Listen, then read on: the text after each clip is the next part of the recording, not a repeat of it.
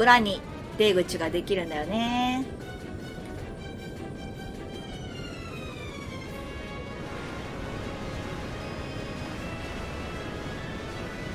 地形が変わっちゃうね。飛竜は逃げたよ。ちゃんと飛竜は逃げてるから大丈夫。ああうわー、来るぞー、どうしよう、進めたくねー。マジで進めたくねー。泣くかもしれない、私ちょっと。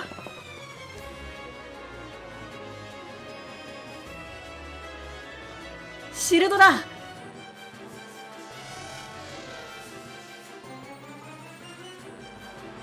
シルドラ生きてたのか？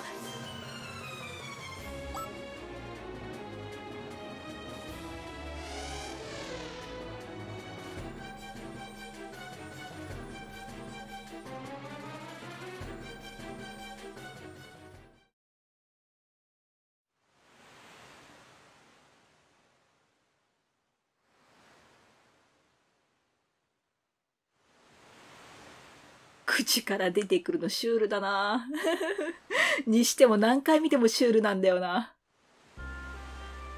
シルドラ。わあ、もう悲しい。ここの BGM がマジで。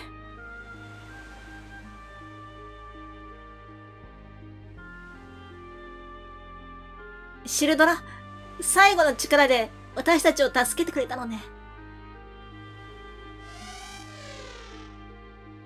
シルドラ、死んじゃやだ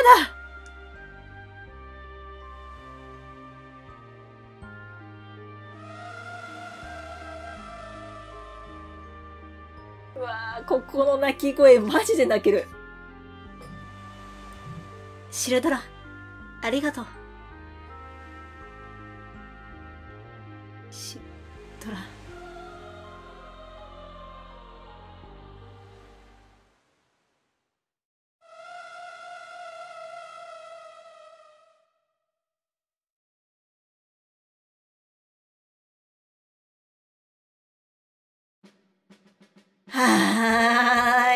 シルドラ、実は生きてたんですよ。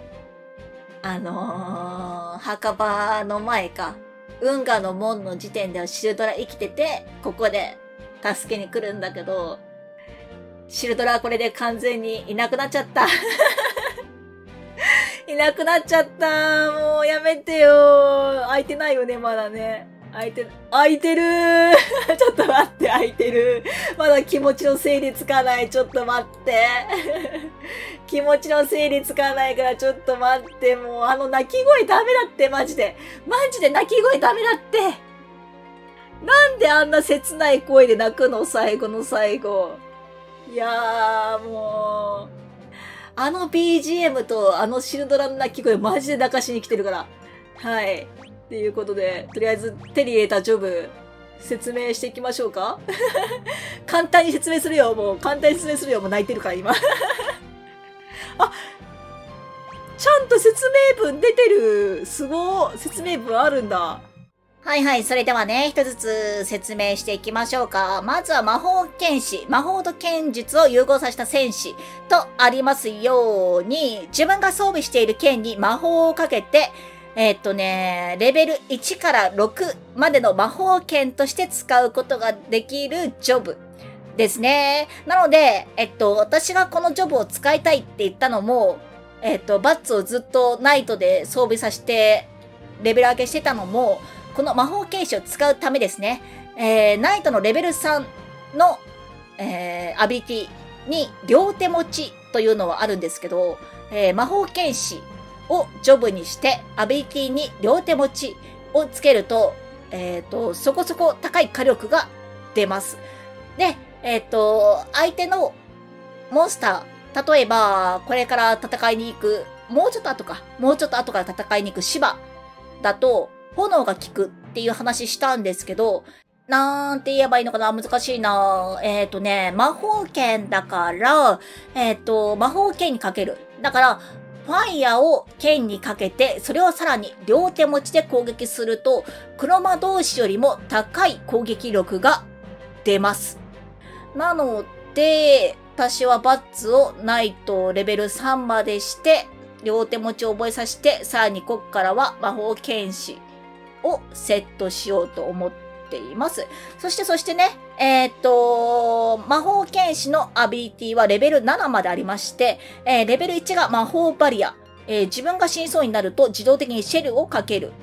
というものから、レベル2からは魔法剣レベル1、レベル2、レベル3というように、えっと、アビリティのレベル7が魔法剣レベル6となっておりますので、これはすべて取るようにしましょう。レベル7まで上げましょう。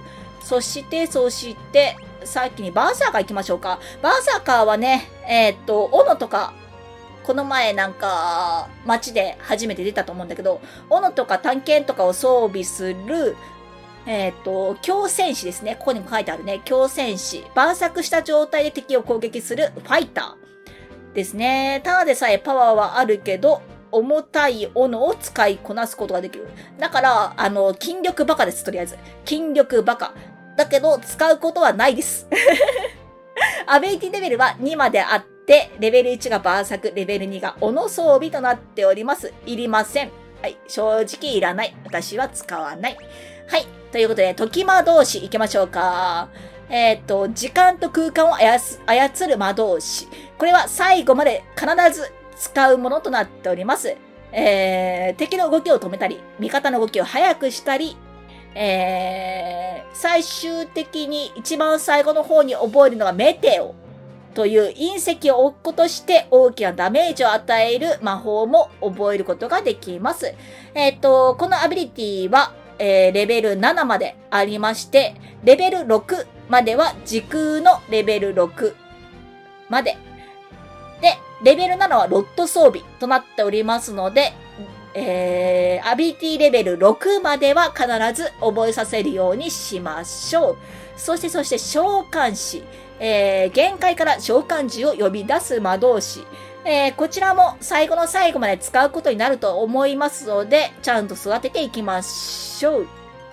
えー、別の世界に住んでいる味方の魔物を呼び出して敵と戦ってもらう。えー、街の方でも言ったんですけども、えー、っと、それこそチョコボとか、シルフとか、レモラを呼び出して MP を使わずに攻撃してもらうことができます。えー、っと、こちらのアビリ、あアビリティレベルか、うん、は、レベル6までありまして、レベル5までは召喚のレベル5。となっておりますので、レベル5までは必ず覚えさせるようにしましょう。レベル6は呼び出すなっておりまして、これが何かと言いますと、持っている召喚モンスターを1体 MP を使わずに呼び出すことができます。このレベル6はまあまあまあまあ、いらないかな。まあ、取っててもいいとは思うけど、あんまり使ったことはない。ほぼほぼ使ったことはないので、まあ、5までは絶対あげましょうね。で、最後に赤魔導士。えー、白と黒の魔法を使いこなす魔導戦士。ということで、えー、っと、こいつがいたら、だったら白魔導士、黒魔導士いらないじゃんって思うじゃないですか。でも、こいつはね、白黒魔という魔法が使えるんですけども、それぞれレベル3までの魔法しか使えません。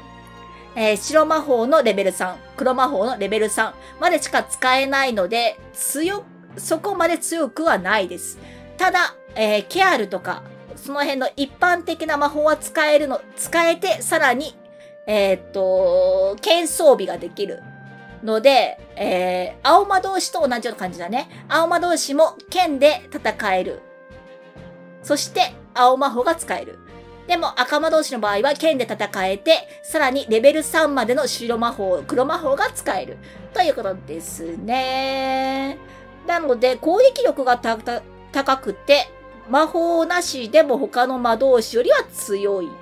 で、さらに、レベルを上げれば2回連続で魔法も使えるようになります。ので、MP、そうだね。MP は結局2回分使うので、MP に余裕があれば戦闘が楽に進むことにはなります。えっとですね、このアビリティレベル、レベル3までは白黒魔のレベル3。で、最後、レベル4まであるんですけども、このレベル4が連続魔と呼ばれるもので、先ほど説明した1ターンで2回続けて魔法を唱えることができる。えっ、と、攻略本上では覚えなくてもいいとはなっているんですけども、あってもいいとは個人的には思います。ので、私はちょっと取ろうかなと思ってはおりますが、さてどうしようか。とりあえずバッツは魔法剣士にしましょう。アビリティを両手持ち。これは絶対。本当に魔法剣士にするなら絶対両手持ちさせましょう。100%。それかもう乱れ打ち。えー、っと、魔法剣士にさせるんだったら、今の段階では絶対両手持ち。その次は二刀流。その次は、れえー、っと、乱れ打ち。この三つしかアビリティつけることはありません。この先。えー、っと、最強装備、オッケー。で、えー、どうしようかな。文句はちょっと覚えさしときたいから、そうだな、レン、あー、レナを時魔同士だな。そうだ、私はいつもレナを時魔同士にするんだった。えっと、じゃあ格闘をつけとこっか。時魔同士で格闘ってやばいな。いやいやいや、最強装備外す、外すよ、外すよ。ダメダメダメダメ。素手で攻撃させるから、時魔同士に。えっと、じゃあ、あー、赤魔同士でもさせようか、じゃあ。白黒、ま、ラーニングしとこう。あら、まあ、素手になっちゃうのね。盾がないのね。オッケー。じゃあ、ファリスに召喚したね。そう、これ好み分かれる。可愛くない？ちょっと待って。可愛くない？そう、これ言おうと思ったんだ。ファリスの魔法剣ちょっと可愛くない？ポニーテールだよ、ポニーテール。男の子がポニーテール 女の子なんだけどね。男の子がポニーテールですよ、ほんと。いやー、召喚師はね、私ね、ファリスなんだよ。昔っからファリスなんだよなで、白魔法をつけときましょう。えー、っと。ダガーでいいかな。オッケー。で、並び替えを全員格闘いいなファリスとかにも格闘覚えさせようかな 結構使えるなさて、王様はどこ行ったんだろう？一応顔出しに行く？王様の顔だけ見に行く？顔色どうかな？砕け散っちゃいましたけど、どうですか？ご機嫌いかがですか？皆さん。こんにちは。お？傷ついたカルナック兵士が運び込まれました。兵士の部屋で寝ています。おその兵士は北の隕石の穴から出てきた。ワープがなんとか、と上ごとのように言っています。はあ。マジであの赤の戦士運び込まれたんかな？そう、砕け散っちゃってるよ。王様、だから言ったじゃん、王様。あ、自分の部屋で休んでるんだ。えー、大丈夫？王様。お、いるじゃん、いるじゃん。でしょう。楽しかったでしょう。ウォルツォ、大丈夫ですか？カルナックへ急がれよ。あそこも機械を使ってクリスタルの力を増幅しておる。カルナックにも隕石が落ちたらしい。手遅れにならないうちに。でカルナックの方に行くんだよね。おー、そうだ。こっから対空に一旦戻る感じかな。きっとみんな心配していますよって優しいな。え、てか、兵士どこ？兵士？運び込まれたって言ってたよね。どこだったっけ？兵士の部屋。全然覚えてないんだけど。あらどこやったかな？こっち？違う違う違う。牢屋だわ。お前絶対出さないからな。お前宝箱を盗んでいくんだからダメだよ。あ、おったおった。あれ？赤の戦士の話じゃないんだ。じゃああいつはやっぱ死んだのか。だよな。そいつが生きてたら、だってガラフの素性が知られちゃうもんね。カルナックに落ちた隕石の中を調べていたら、突然ワープして、塔のそばの隕石に。なんか、馬事のように言ってんなここはどこなんだよ。私のいたお城は、一体どこに？はーい。じゃあ、あの隕石行ってみようか。穴開いてたもんね。穴開いてたもんな。最初開いてなかった穴が開いてたもんな。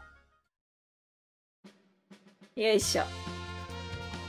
あれがどこに通じているのかなさてと。さっきまで開いてなかったのにね。